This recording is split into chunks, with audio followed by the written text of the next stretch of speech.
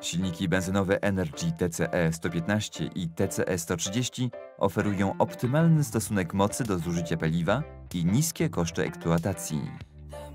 Silniki rozwijają moc odpowiednio 85 i 96 kW.